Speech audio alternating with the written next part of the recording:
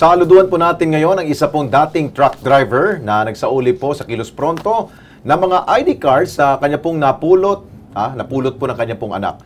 Nitong February 25, nadampot po ni Leamor Cunanan, anak po ni Herminio Cunanan, ang dalawang identification cards. Isa pong ah, uni, ah, Unified Multipurpose ID, ito po yung UMID, at isang Hong Kong ID.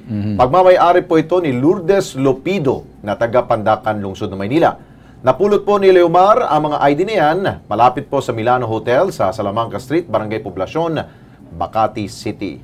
Kung nanonood po si Miss uh, Lourdes Lopido o sa sino man po nakakilala sa kanya, Ma'am, maaari lamang po kayo magtungo dito sa aming pong tanggapan, dito po sa Meet, uh, Bitag Multimedia Network, dito po sa Ritual Center, Timog Avenue, lungsod po ng Quezon. Anytime po, ay bibigyan namin sa inyong ID ninyo.